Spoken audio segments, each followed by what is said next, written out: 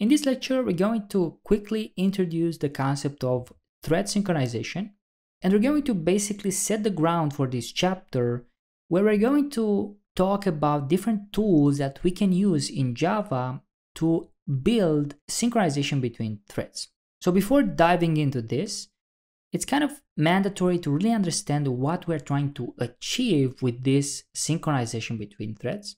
So in other words, what actually is this synchronization and why do we need to do it? So let's say we got two threads which are running in, uh, in our Java application. And those threads are executing a bunch of instructions. They are working with data. And basically there are two types of data that those threads can work with.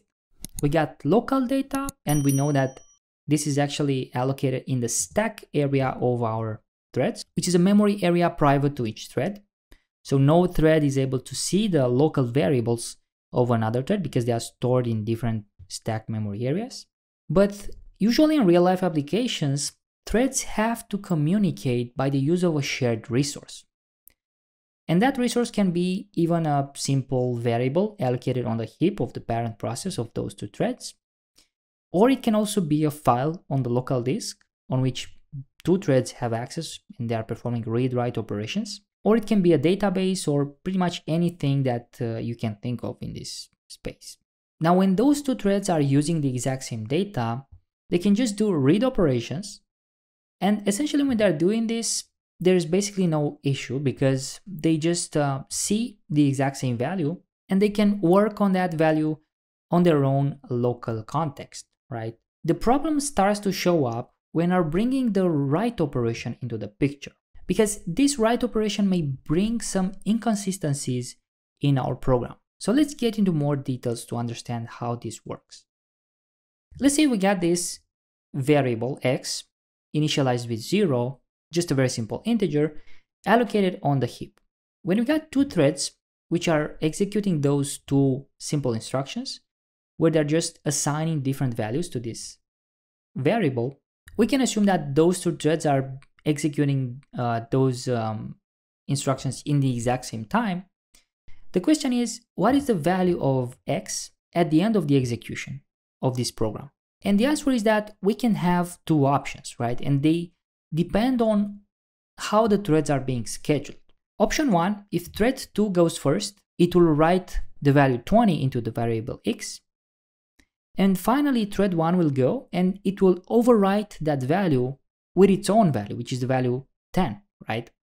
In this way, we get the, we got the option 1, and at the end, the value of x will be 10. If the threads are scheduled the other way around, so thread 1 first and thread 2 the second one, we got the option 2. Now, if we think in a broader way of this very simple program with only two threads, we can see that at the end of this program, the output, which is in this case the value of the variable x, depends on the way those threads are scheduled.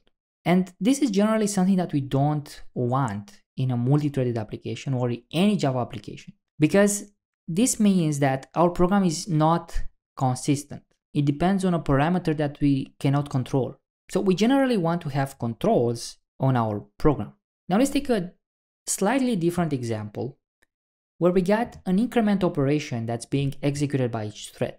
This example is actually used by many thread synchronization introductory tutorials because it is very relevant in this space.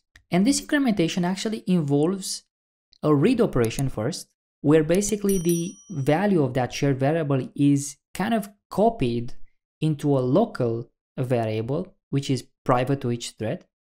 So you can assume that threads are copying the value from the shared memory into their own stack area. So that's one operation. And then the threads are incrementing that value again in their stack memory. And finally, they write that the result of that addition back into the shared variable, right? Which is in the shared memory, in the heap address space. So there are two operations involved here, a read and a write. Now, what is our expectation, right? When we run those two threads in the exact same amount of time, we have a specific expectation. And this one is that first we got the initial value, which is zero, right? So this is the step one. And by step, I mean the moment when we write data into this variable. And if thread 1 goes first, it will increment the value and we expect that the value of uh, x after thread 1 is finished to be 1.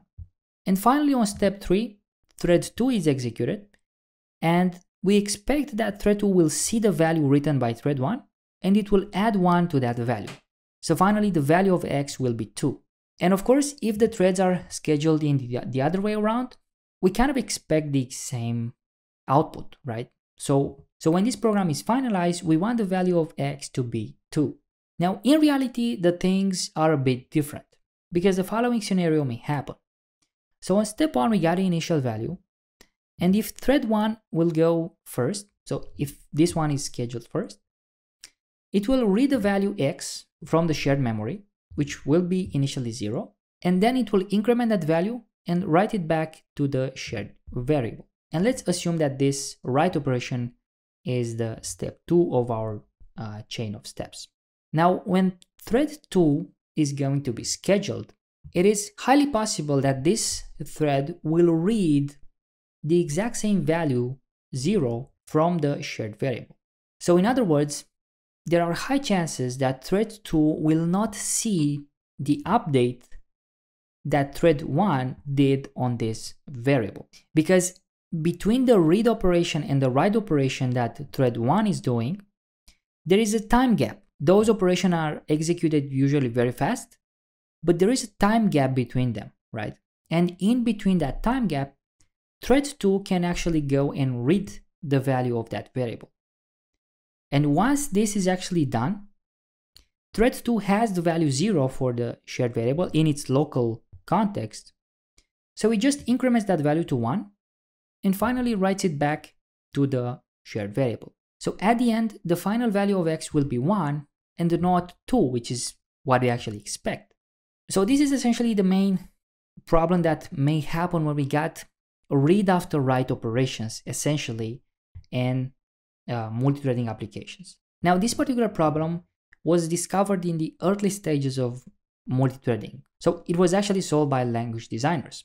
And basically the only way in which we can solve this problem is to make sure that this operation is executed by only one thread at a time. So we want to make sure that only one thread is executing this write after read operation. So in Java and in other multi-threading enabled languages, we got this capability of specifying which instruction or set of instructions to be executed by a single thread. And this chain of instructions that we can specify is actually called a critical section. So in other words, thread synchronization is essentially a coordination between threads in order to get a consistent output of our application. And this particular example here, where we enforce the fact that only one thread should execute an operation, is called mutual exclusiveness. Because the threads are essentially exclude themselves mutually when they're trying to execute this critical section. But there are also other ways of coordinating threads. And the whole idea of this coordination is to get consistency into our application. That's the, the, the main message of this, um, of this particular lecture, right? We don't want the program to behave in, in any way at once, right? We want to establish a well-defined control and behavior of our application in order to get predictable output.